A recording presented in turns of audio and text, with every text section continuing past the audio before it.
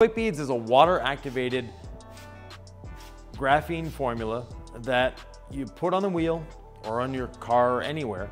Let it sit for 30 seconds to two minutes, somewhere in there.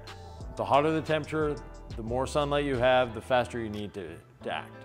Anytime you're using any car wash chemical, direct sunlight's not gonna be your friend. No. Work in small sections and don't let things dry. That's just a good rule of thumb no matter what you're doing. Right.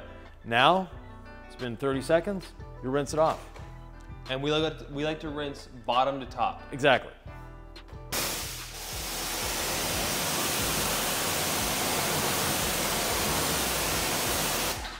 It's quick beads. It's beading.